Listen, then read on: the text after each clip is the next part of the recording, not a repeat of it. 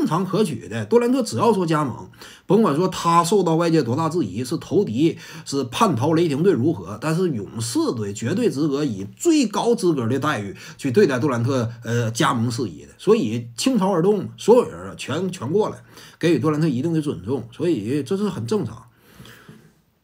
杜兰特对于勇士，我感觉呢。绝对是功远远大于过的，即便说他到后期呢，至于团队啊内部的球员分配各个方面，他有了自己想法了，但是功远远大于过。至于勇士就是这样，但是还是那句话，那杜兰特天生不是勇士队的奴隶，那你不能说我至于勇士队功远远大于过，至于我个人而言，这个事儿干的就有多积极，两码事儿。至于勇士队来讲，这个事儿太积极了，引进凯文杜兰特呀。但至于杜兰特而言呢，我不是你奴隶。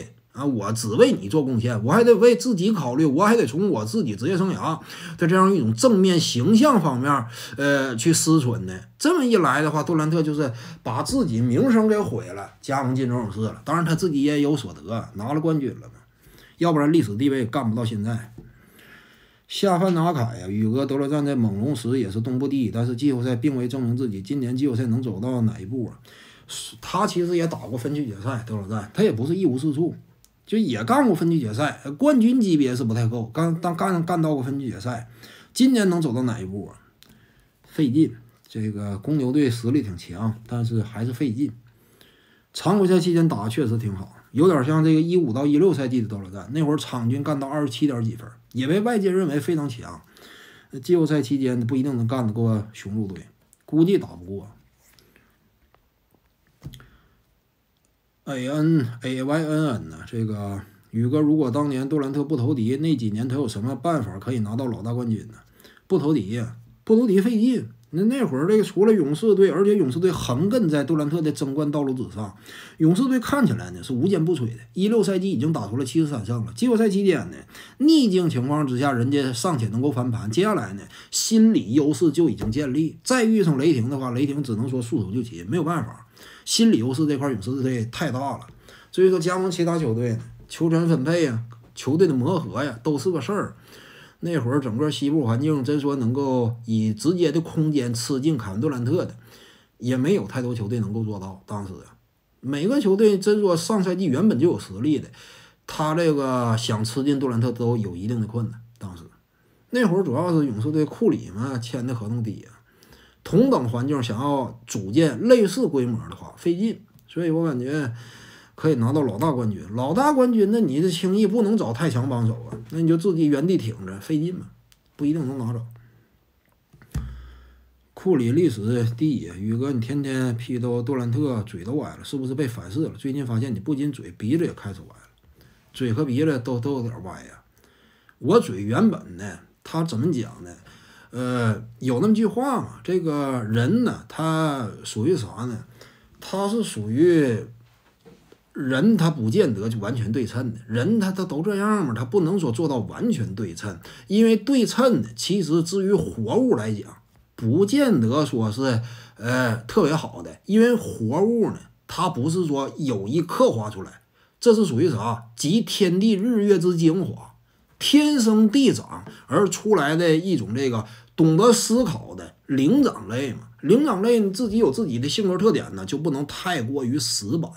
你要说这搁笔上画的、量的、卡的非常这这个呃正确，双方间打中间对折一下，完全吻合，这是没有生气的，这是属于啥？太死板了，人就不能太死板。长相也是完全对称的，看起来挺无趣的嘛。那人都是有思考啊，有自己的喜怒哀乐呀。随着时间的消磨，更是不可能左右完全对称，这是很正常，天生地长嘛。我也不是很死板，所以我就没有那么对称嘛。这这有有何不可呢？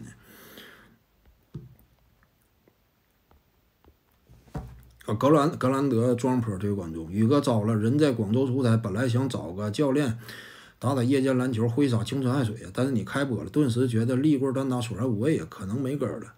感谢这格兰德庄坡支持，感谢这位观众啊！这个祝你在广州出差一切顺利。呃，这个打拼事业嘛，打拼事业之余啊，呃，劳逸结合呀。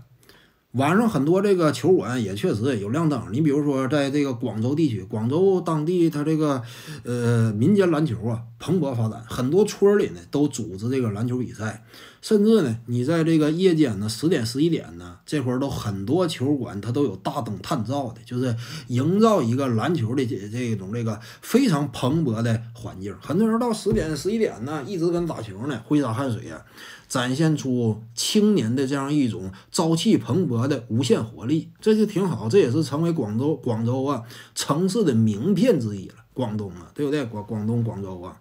城市名片之一了，挺好。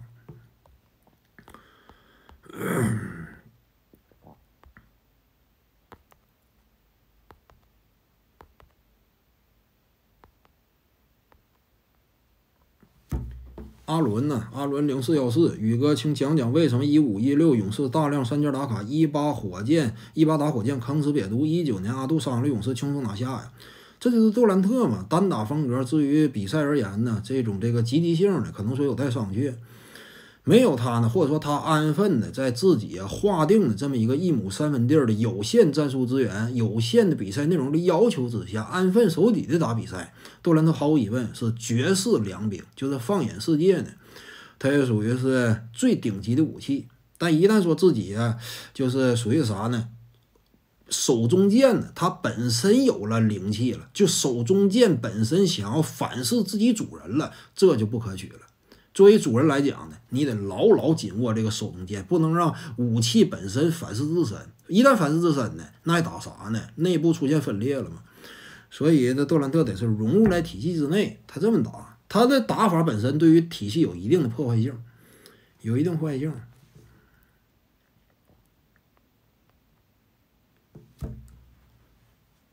啊，四五七七五六，刚才没看着啊。杜兰特投敌没有体育精神，被你贬的一文不值啊。这之前讲了，呃，自幼不带护这位观众，我女球友晚上和男人看电影被发现后说此男只和男人单打属于正常社交，我该不该相信呢？啊，和晚上和男的看电影啊，那这玩意儿这个，呃，这这这要是这不具体不太清楚，反正这不不太正常，这这也不太正常，这这。呃，正常社交啊，那这这个晚上和别的看电影，这个是属于是一个非常私密的场合，尤其男女真说出双入对一起这个走进电影院的话，它往往是有一定的代表性意义。通常在恋爱过程当中呢，有几个事件呢，差不多是能够证明你俩处在哪个恋爱阶段，而看电影呢。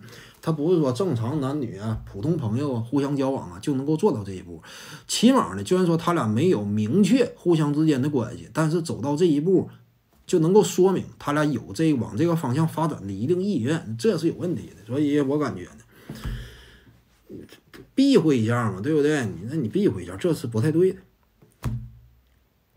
我的朋友很。宇哥，二零一四马刺在最近二十年冠军战斗力和含金量能排进前几？一四年的马刺冠军战斗力含金量，战斗力，我认为在马刺队整个漫长的呃过程当中呢，他是不如零五和零七的，他不如零五零七，比零三年能稍微强一点，不如零五零七。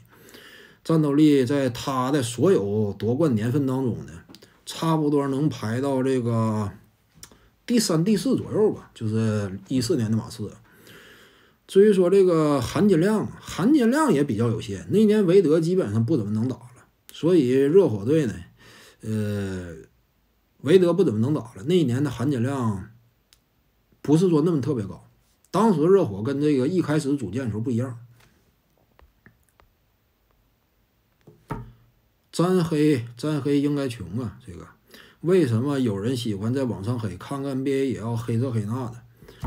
黑本身呢，说明他对于 NBA 是关心的。事不关心，事不关己，高高挂起。呃，一旦关心呢，关心则乱嘛。所以这起码说明呢。至于体体育运动啊，人家有发自内心的喜爱。对于 NBA 这么一个竞技舞台呢，他有自己的所爱，这就可以吗？你要说值得不值得抨击呢？竞技体育但凡涉及到竞技二字，难免是有纷争。文无第一，武第二嘛。甚至就在文艺领域，只要说一个人呢，他涉及到种种排名了，一个明星啊，一个歌星、影星啊，涉及到排名了，就互相之间有比较了。你看那诗的呢，也是这个双方之间。剑拔弩张，体育嘛，体育竞技呢，就这么一个大环境嘛，常年都在竞争啊，常年都在竞争，呃，黑来黑去，这很正常，这竞技体育一部分。竞技体育它本质就这样。你要说啊，每个人啊都如同圣人一般，圣贤一般，就我能欣赏所有人的好。恰恰呢，就往往资深球迷一般来讲是不不会有这种情绪的。其实你就是没好意思讲。任何一个球迷，你扪心自问。你如果对于整个 NBA 啊，所有球星一视同仁，我都喜欢，对不对？没有任何一个人是我有那么丝毫不满的。你要说你能做到这种心态的话，你已经超脱于 NBA 之外了。说明啥呢？要么就是你以前关心，但是你现在已经不关心了；要么就是你原本就没有那么关心，你才能够做到。你只要说深入其中研究啊，长期看比赛，事不关心，关心则乱，你一定会有所偏好的。那这会儿你借助互联网啊，相对来说，呃，言论呢，你能够更加畅所欲言的表达自己内心所所想的，因为互联网它呈现的是什么呢？是一种相对而言比较偏无责任的状态。越是无责任的，你就越是能够将自己内心当中真实一面展现出来。展现一面呢，就是有了大量的黑粉嘛，就是呃支持这个球星啊，但对另一个球星呢？就会有所不认同，就会有所贬低。你比如说这个啊，我支持凯文杜兰特，但是很多人呢，就因为支持凯文杜兰特而不喜欢詹姆斯；支持詹姆斯呢，我因此不喜欢凯文杜兰特。为啥呢？互相之间有荣誉之争吗？这就一旦说形成荣誉之争，你多点我就少点嘛。凯文杜兰特呀，加盟了金州勇士，成为阻挡在勒布朗詹姆斯球王之道之之上的最大一道障碍，是不是这样？球王之路最大一道障碍。如果没有这一码呢？詹姆斯的冠军数量，我目测起码多一个是挺保守的，多一个呀。因为冠军一旦说再拿一个的话，当年骑士队形成了王朝级别的声势的话，也许呢，凤凰就被梧桐树吸引，接下来骑士队越来越强了，这都有可能的。这就互相之间球迷就是呃争斗的，争斗开来了吗？就双方球迷呀。争斗的不可开交嘛，我感觉很正常。真说发自内心的你关心 NBA 的话，其实肯定会有这个亲疏远近的。正如同人嘛，啊，要求啊，圣人，呃，不能说圣人吧，就是人应该一视同仁，兼爱，对不对？我对于每个人都是一样的。现实当中往往是几乎不太可能做到的。NBA 也是这个道理。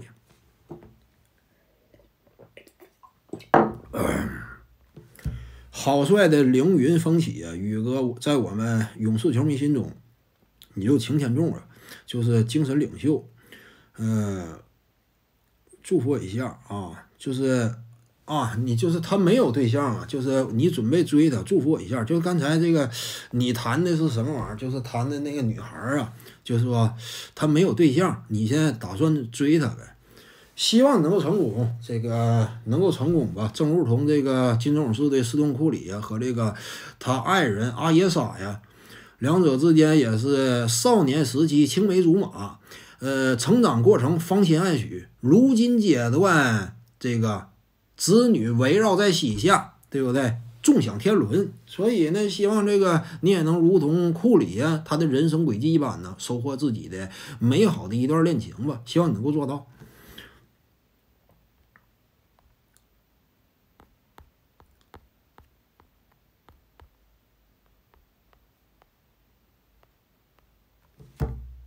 天天开心呢，宇哥三十七的詹姆斯就商业价值来说，能单换杜兰特吗？商业价值，商业价值肯定能。现在商业价值，詹姆斯仍然是超过杜兰特的。杜兰特捡便宜就捡便宜在哪儿呢？他商业价值、场外收入之所以看起来比较高啊，早些年间斯顿库里被这个 UA 截胡了，截胡之后呢，耐克当时有点坐不住了，就感觉我真说让杜兰特呃也被这个 UA 抢走的话。呃，我本身旗下阵营呢这块就感觉有点摇摇欲坠了，因为毕竟 NBA 呢是整个篮球世界领域之内最具号召力、最具价值的这么一个联赛。这当中很多顶级巨星，如果说你不网罗到帐下的话，运动运动品牌的根基就会动摇。所以当时呢，迫于现实环境，给了杜兰特一份溢价的合同。其实杜兰特呢，他这个球鞋销量各个方面。没也没有那么理想，但是没有那会儿，但是没有办法，那会儿耐克出于防御、出于防患于未然的角度，给了他一份溢价合同。这个好像说呢，现在这个场外收入也不菲，也不低。但其实你仔细看呢，就是联赛当中这个收视率排前十的这些比赛，今年目前为止，整个联盟收视率排前十的比赛里，有八场是斯蒂芬库里领军之下的金州勇士队打出来的排前十，前五呢无一例外全是金州勇士的今年的。另外还有两场是哪谁的呢？我要是没记错是湖人的，是勒布朗詹姆斯领军之下的湖人队打出来的。另外那两场没有勇士队参与的，湖人参与的。再再有就是，呃，篮网和雄鹿那一场揭幕战也挺受瞩目，但是篮网队呢，他可没有说因为呃阵容当中星光呃璀璨呢，众星云集，就使得他在收视率这一块能够拥有那么重的戏份。而勇士队呢，别说半壁江山了，整个 NBA 今年呢，当下勇士队是最受欢迎的一支球队，这就是库里巨大的商业价值、号召力。在美国就这样，收视率跟你的商业价值是直接挂钩。要不怎么说金州勇士队当下市值仅次于纽约尼克斯呢？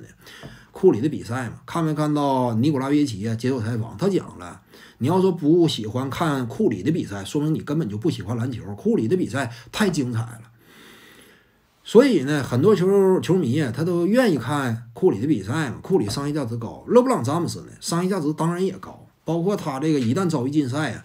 呃，紧接着影响的这样一种票房收入的断崖式下滑，这都是举足轻重的。詹姆斯他这个价值也非常高。现在阶段之所以稍微低一点儿，是因为湖人队本身战绩太颓废了。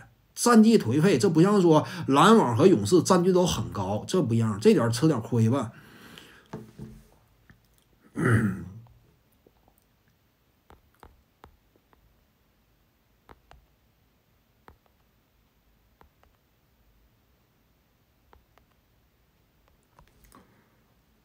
这个嗨吧嗨吧啦嗨吧了，这个观众宇哥谈谈哈登有可能被火箭退役球衣吗？还有现在哈登状态能火箭巅峰几成啊？退役球衣是板上钉钉的，他自从离开那会儿，火箭队就已经对外宣布了，未来就要给哈登退役球衣。他的成就在火箭队内仅次于哈基姆奥拉朱旺，比德雷克斯勒都高。因为克斯勒呢，无外乎就是。中途过来的，而且那会儿已经是属于是个成熟球星，三十好几了，中途过来的，不像哈登，打出了火箭队记忆当中的最近三十年第二个高光期，比这个姚明那个时期打的高度呢还要更高，属于是成为了 NBA 联赛当中的皇马、巴萨之一了，相当难得。所以哈登肯定会被退役球衣，状态能有火箭巅峰几成啊？现在我感觉八到九成差不多，八到九成，身手回来了，最近几场比赛。八到九成是挺稳的，能不能有十成身手呢？那个这这这还得再看，暂时八到九成没有问题。李东旭，杭州啊，宇哥，杜老二宣布退役那天你会说什么？宣布退役啊？宣布退役呢，就是这是一位在联赛当中啊，呃，中距离立棍单打这个领域之内进攻锋芒无与伦比，在外界眼中或许呢他有种种缺点，但是在他所擅长的这么一个专精的领域之内。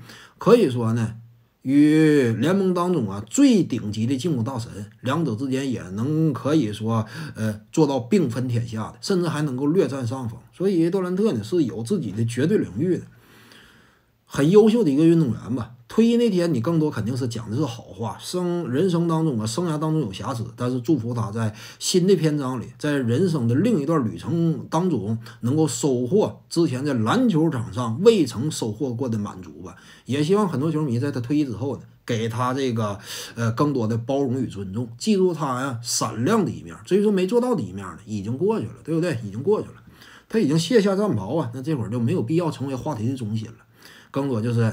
包包包养一面了，当然，这个很多这个年轻的小球迷呀，也要在杜兰特身上引以为戒，不要走杜兰特的老路。这一点是留给后世的，也算是一种另类财富吧，另类财富。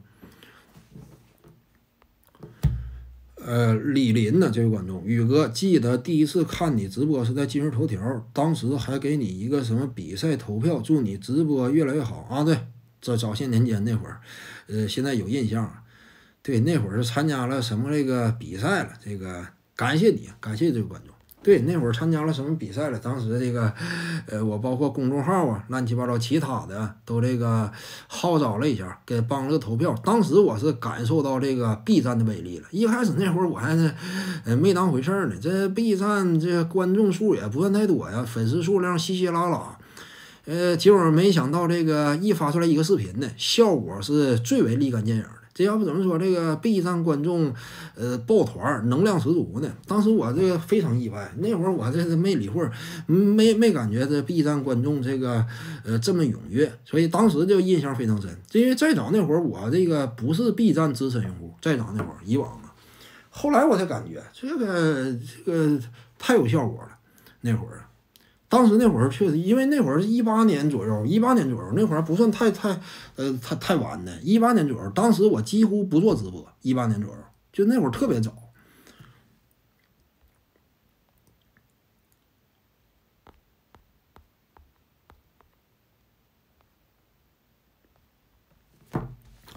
四五七五六啊，是谁也不清楚字母哥是不是故意的。但是你直播说他是故意的，那你的意思就是字母行为有体育精神呗，符合希腊神呗。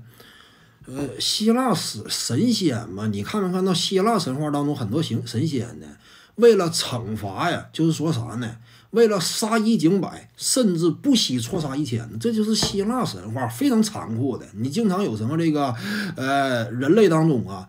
有些违背了就是天神的这种这个呃举动了，触怒神颜了。当时这个是属于是啥呢？就简直毫无这个怜悯，就是爱惜众生的这种意思。那你仔细你早些年间你我比如说读什么这个全球通史之类，你看这个包括这个上古这些神话，非常残酷的，就是这个欧美当中这种这个神仙。极其残酷，啊错宁可这个错杀一千，我也不放过一人。就有时候呢，殃及了这个无辜之人了。你像这个 凯若文这么虔诚的一位信徒呢，但是没有办法，这个希腊这个竞技之神嘛，他感觉为了竞技，既然说欧文你这么虔诚，牺牲一下也未尝不可，对不对？牺牲一下，你本身是虔诚信徒嘛，表达你忠心的时刻到了。当时欧文内心当好像说略微也似乎说有种觉悟，上天在召唤我，所以他感觉这落地那一刻就是伤了嘛。这就是希腊当中这个众多神话比较残酷，这就是残酷一面。竞技体育要不怎么说它本质残酷呢？非常残酷。所以说字母哥他这个是不是符合竞技精神呢？那这。我们猜测他是故意的，就是种种迹象证明确实是故意的。那这个你竞技体育它就有就就有残酷一面。对于这事儿呢，竞技体育它本身是现代社会的战争嘛，现代社会的战争对于这种插曲呢也差点，对不对？你比如说场上有犯规动作、恶意动作也差点，但是他也不像说投敌那那么那么这个呃所谓竞技体育不容嘛，不一样。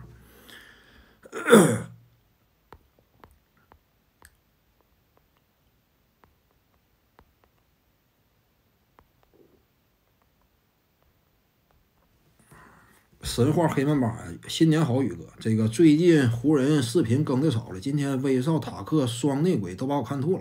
詹姆斯苦苦支撑，你不想吐槽一下吗？啊，就湖人的视频呢，他得是打硬仗，我讲一讲。你比如说下一场比赛打灰熊啊，这个要是赢了的话，值得讲一讲。输呢，其实他湖人经常输嘛。你比如说面对这个中等往上强队，一般来讲不容易干得过。那你这会儿要是输呢，题也就是。就是老几样嘛，湖人队他他他这个打你要说赢呢，他得是最好啥呢？赢中等往上的强队。下一场比赛如果真是赢了灰熊了，那值得谈一谈。湖人队呈现出来的新年新气象，倒值得谈一谈。呃，这场比赛打森林狼，森林狼就一个爱德华兹、拉塞尔和唐斯都没打，他这阵容比你更残破。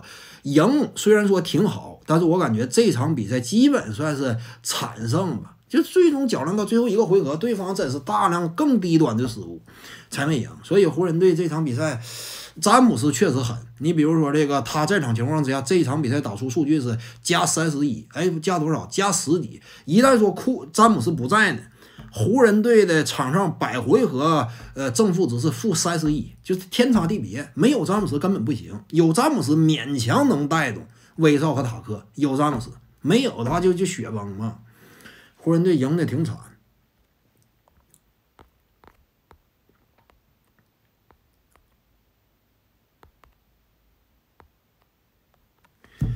好帅的啊，这之前讲了这个老雷瞌睡啊，宇哥勇士两连冠，队内地位争议不断，现在。杜库两方面球迷眼中各有两个老大冠军，何时才能有效有较共识的定论呢？现在其实就是有共识的。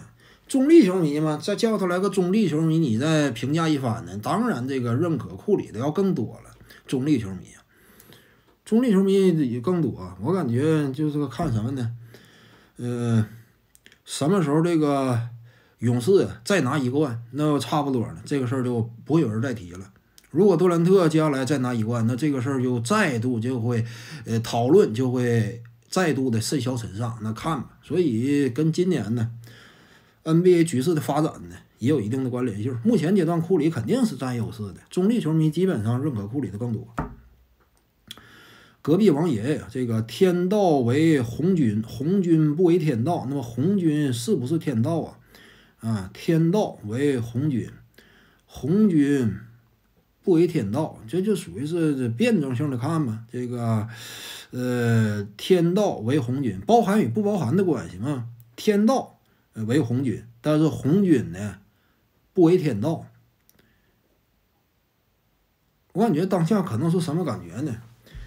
天道啊，这个暂时呢，这种代表人物是红军老祖，但是红军老祖呢不能完全代表天道，就这种感觉，他是属于是暂时的天道代表人物，但是更像是一个拿到台面之上的这么一个管理众生的具象化的形象，而天道呢？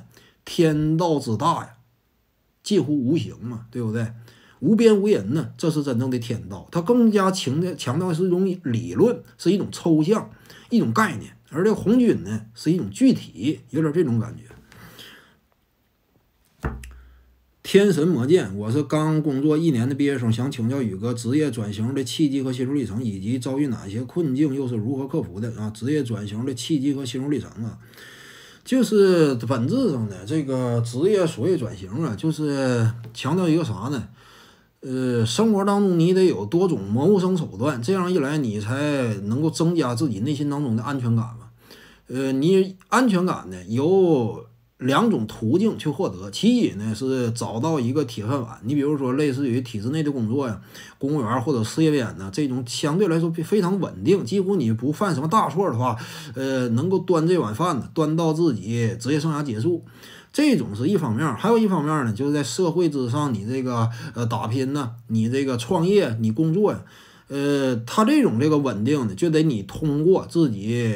多种多样的这种这个职业技能不断的扩展，分摊你的风险。就是你哪怕你正在干一个工作的时候，任何创业人士都这样。很多创业都是你这个他干着一个工作的时候呢，他与此同时还多少想着另一个，就是我能不能在其他方面也均衡分摊一下自己的呃这样一种这个经济压力呢？这稳定性能不能说更十足一点呢？所以都这样。你要说这个职业转型契机，转型契机一般来讲呢，都从这个第二职业开始做起。这第二职业你得一开始早早呢就有所打算。第二职业甚至第三职业，你得有这个比较良性的一种这个呃收入的构成。你得就有点就是什么呢？你比如说你有一百块钱呢。八十块钱的存银行，有二十块钱的搞一点这个有一定风险性的投资啊，那潜在的收益如果大呢，你也可以这个呃分配一下嘛。即便说暂时它没有收益，未来前景好呢，你就得安排安排啊。心路历程啊，心路历程就是你你本身你不能说这个裸辞嘛，或者说直接就是一百八十度直接严重转行。自己原本的主业呢，完全荒废。你在这种情况之下，你干副业呢，或者说直接挑了另一道了，那就风险太大。我的选择都是先兼职的干，先这个有自己主业，主业不能轻易荒废，再发展副业嘛。你就好像这个，我做着这个视频呢，做主播的同时呢，我其实也是还是在就是合计，就是在干买卖这块是不是有一些能够不花太多精力的。我在这个做一做，这样一来进一步分摊分摊风险。万一今后这个我不讲体育了呢？那我可能说其他的我也能混一碗饭。这是是居安思危嘛，就这样啊。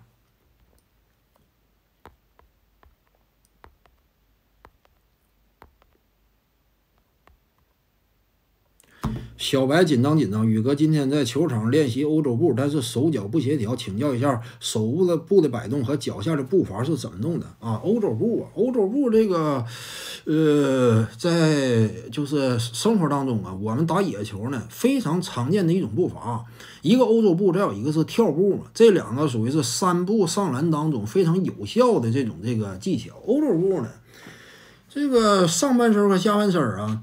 就上半身呢，重心这块呢，尽可能保持稳定，保持稳定。你更多给对方带来的一种假象是通过头部的呃摆动、眼神儿带动对方的注意力。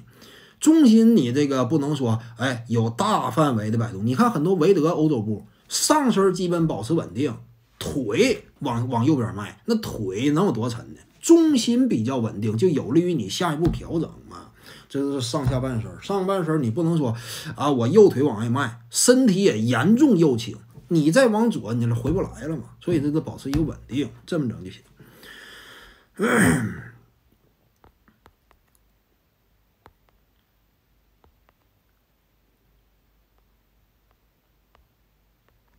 猪猪侠蓉蓉啊，如何看待今日霍顿塔克防守爱德华兹时每回合都被一步过的霍顿塔克没山没地如何发展？没有发展嘛？之前那会儿我就说没山没地，你有啥发展？我之前最早那会儿我点出来的不就这这个道理吗？首先一点，他没有山，至于我地呢，他在这个时代格格不入。他这种体型吨位的话，呃，防对方外线呢，你缺乏换防能力，一个掩护挡拆你根本挤不过去，这就是硬伤。没山没地嘛，你说怎么个发展？发展不了。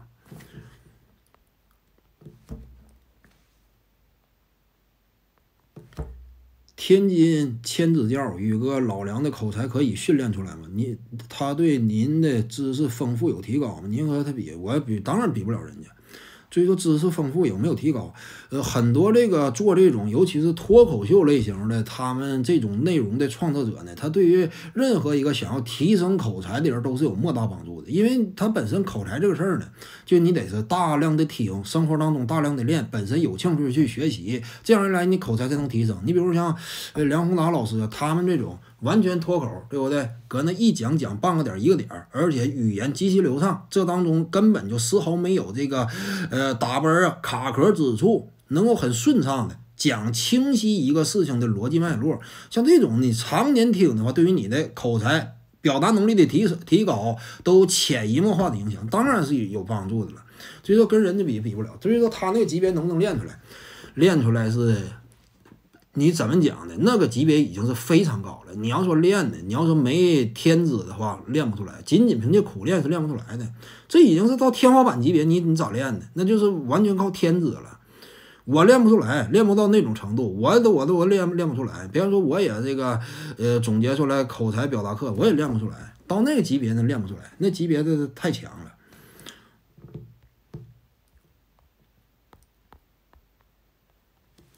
问君何能尔？与与帝，你与 B 站的下分合约比得上，那是不可能的，距差距大去了。你是不是库里球迷呀？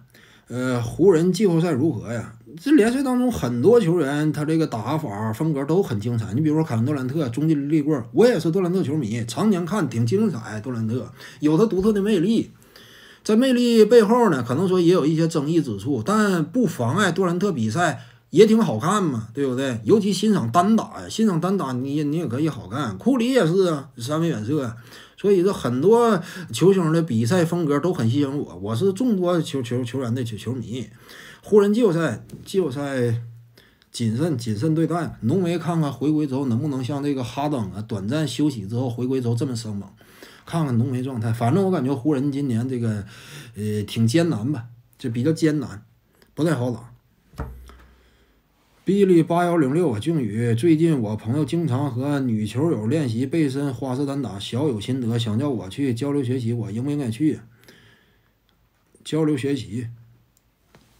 这这没没有必要去吧？交流学学习学习啥？这个正常来讲，单打这个人家男女互相，如果说真是能在野球场上。呃，相约出来打个球之类，那人家关系非常近，你学也学不来，没没有用。所以说学技巧，技巧有啥好学的？这玩意儿这个跟个女孩打球你打不过，你从这女孩身上学什么玩意儿？就是她的投篮技巧也不见得适合你呀。那女子她篮球技巧跟男子是有区别的，她很多比赛风格呢，呃，有女性的特殊的篮球比赛特点，你学也学不来，没用啊。你说你别去了。老一点五，詹姆斯星上六个亚军总总决赛屡战屡败，抱团夺了四个冠军，前十都进不去，谁公认的历史前五啊？那这哪个冠军不都有团吗？哪个冠军是自己这个单崩这个以驴友的形式夺得的呢？根本不可能做到啊！你只能说是驴友是家附近的，还是说啊？你在隔壁地方啊找的呢，对不对？互相之间结伴而行啊，都这样。你只要说不投敌都可以，这冠军都团团队。所以历史不光前五，历史第二稳的。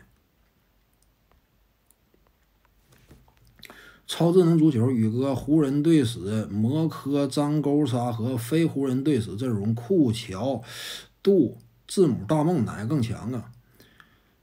摩斯、科比、詹姆斯。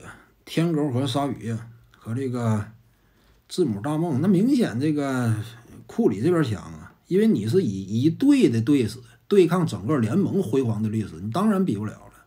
非湖人队史这个明显更强，字母和大梦这一对就比这个勾和沙都都强。圣经小丽。宇哥，隆多如果高二十厘米，会不会成为詹姆斯这样的超巨，还是西蒙斯这样的顶级蓝领啊？哪个也成为不了！他还不如西蒙西蒙斯呢。西蒙斯其实篮球视野也非常强，篮球视野呀。隆多高二十厘米就没有这种机动性了，他突破就不会说那么犀利了。隆多，而且他身本身身形偏瘦，高二十厘米也就是两米出头多一点，没有本西蒙斯高的，突破突不进去了。这个远射呢也不具备，那就光靠篮球智商打呀。防守呢也达不到本西蒙斯这个程度，所以还是这样吧。关键在于你技术的多元化，隆多技术还是比较单一。顶级蓝领肯定肯定行。奥特曼的曼呢？库兹马作为奇才，防守核心，场均十四加八，三十三的三分准星。塔克场均十加四加百分之二十一的三分，谁是千万这个级别的下线啊？下线啊？库兹马防守核心的，其实库兹马防守也就一般般。奇才可能说防守本身的不以此见长，显出来了。那库兹马防守也一般，也不说那么出类拔萃。谁是千万这个级别的下线啊？下线是库兹马，塔克呢是呃跌破了下线，他跌破下线，他不是千万下线。这个级别塔克就这表现，按理说就是底薪，他不是千万这个下线。感谢的匹夫有格局啊，成为舰长。感谢匹夫有格局。往事风轻云淡的宇哥，海贼王，你最讨厌哪两个人物？一男一女，并说出原因呢？讨厌的，大河是男的女的？大河是因为这个和之国呢，有很多女装大佬都不知道他到底是男的女的啊？他好像是女的，对，他是女的。他是这个大河吧？大河这个是女的，这不怎么讨喜吧？这个人。呃，男的呀，男的这是哪个比较讨厌呢？比较讨厌男的呀。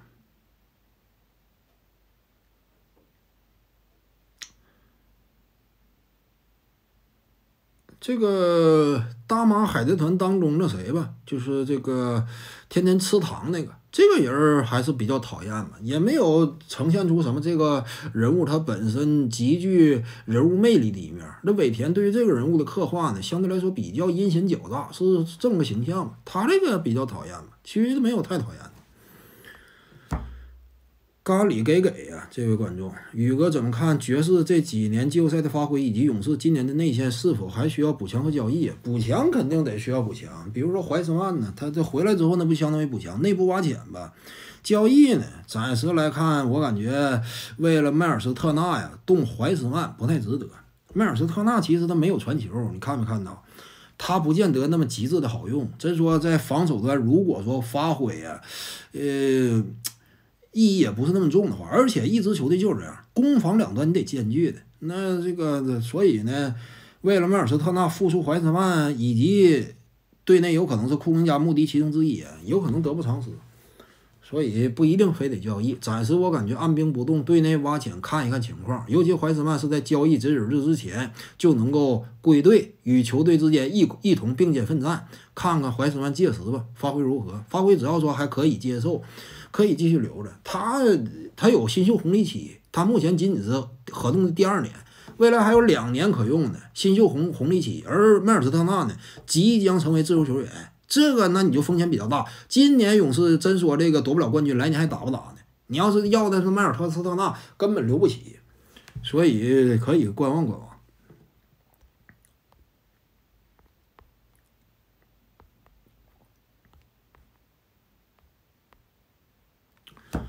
呃，花儿对我笑啊！这个宇哥五个巅峰追梦组队什么水平？五个人将会奋斗出什么样的火花啊？那就是组组谁巅峰五个组队这没有用，防守呢？你五个 DPOY 啊，其实也一样。你比如说啊，我防守端这个整来这个五个字母哥，整五个字母哥呢？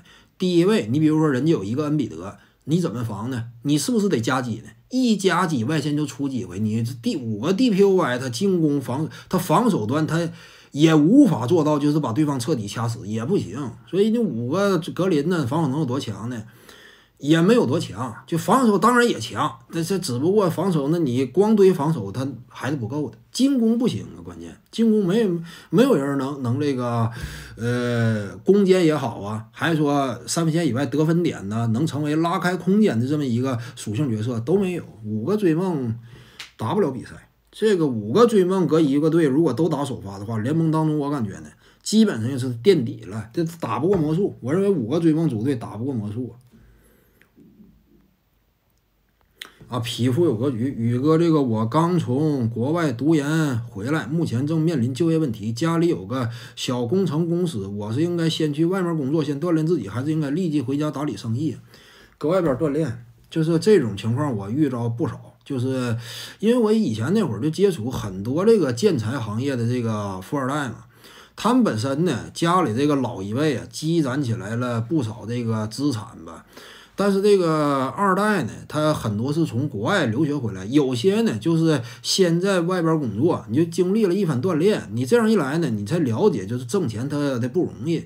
就在其他的工作岗位之上，你能够凭借自己努力，你也能干到，起码是属在中层水平的话，说明你原本就有实力嘛。如果说你没有实力呢，其实现在企业运营啊，它并没有那么仰仗。就是说，你这个亲属身份没有那么仰仗。如果说你在其他的公司，你就正常发展，你连中层都干不到的话，那真说回到家族里把企业交给你，你也是亏钱。就可能说你也不具备这种管理能力。所以，在一个比较公平的环境，你先证明一下自己，是不是多少证明一下自己嘛？打拼努力，其实你往往能力是不差的。你真说自己努力呀，呃，也能够做到。做到之后你再回来嘛，对不对？再再回来，你直接立即就回家呢？你也没有说服力呀，主要是就是你同行业之内，你先到其他的公司，你看看能不能行呢？自己凭努力能不能干上去呢？你先积累点经验，对不对？了解整个行业相对比较呃全面的动态。你要说一开始就回自己家干的话，不太好。这个我之前这个包括出差时候啊，有时候这个老板孩子呢跟我一块儿出去，就为了学一学销售嘛，学一学销售之类的，怎么开拓市场啊？你要是没在这个其他的地方干过的，他就不行。他他他就就怎么讲呢？拉不下来脸儿啊。再者一点就是基础工作，他他他做的就就就不太行。你所以还得是啥呢？还得是出去历练历练，是不是这样？你得先历练历练嘛。在外你干个一两年、两三年的，你真说自己能耐大了，你再回来嘛，这挺好。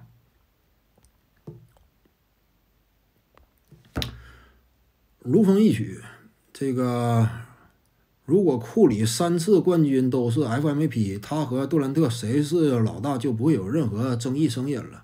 库里地位也能稳压奥尼尔、奥拉朱旺啊，三个 FMVP 啊，呃，这是外界怎么讲呢？暂时阶段还有一些争议声音，那是因为呢，对于该奖项的历史论断呢，还处在一个发酵的过程当中。暂时阶段，中外媒体已经开始逐渐清晰这个奖项的真实面纱了。但是呢，呃，考虑到评奖啊，以及外界的种种舆论的呃盖棺定论式的对于一名球员的定义，对于整个联赛排行的定义呢？